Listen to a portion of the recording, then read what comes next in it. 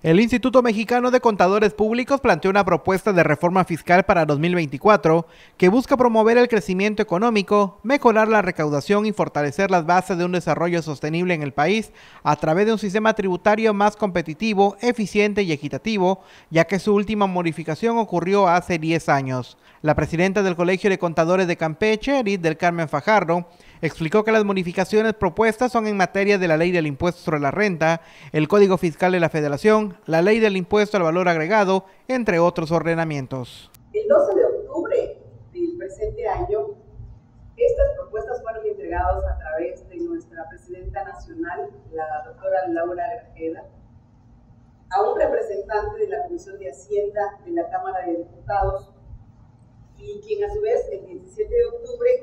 también como parte de las reservas al paquete económico fue presentado ante esta institución. Consideramos que es de relevancia ya que estos planteamientos técnicos son viables, por lo que mantenemos la apertura al diálogo y, exponer a cada detalle a cada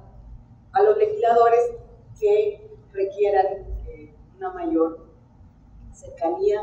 para conocer